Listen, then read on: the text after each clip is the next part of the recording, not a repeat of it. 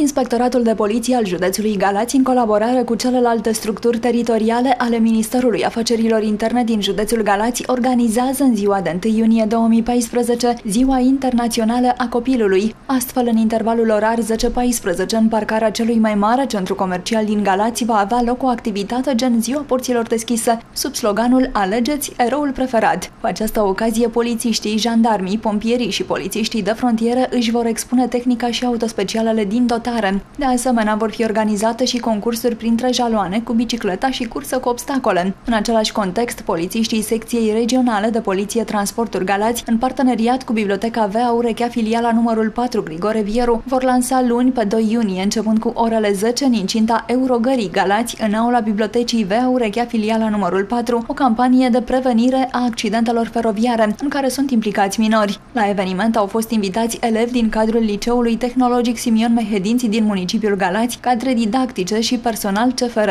Cu această ocazie va fi organizat și un concurs, participanții urmând să primească premii și material cu caracter preventiv.